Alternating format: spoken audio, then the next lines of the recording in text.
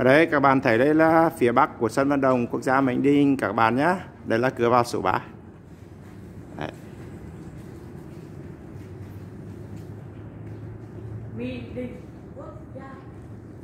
Đấy, phía bắc các bạn.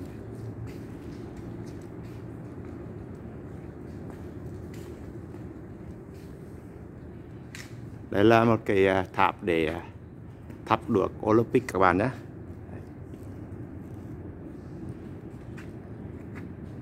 đây, khán đài A khán đài B.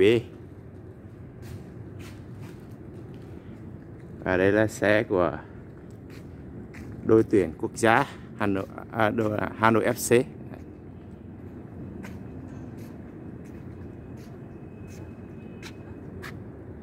Đấy. Đây là khán đài C.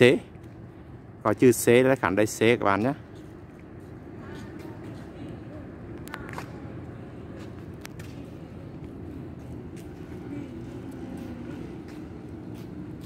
Hôm nay là ngày mùng tháng 9 đến uh, mọi người đến sân thấy chỉ hai bố con đấy.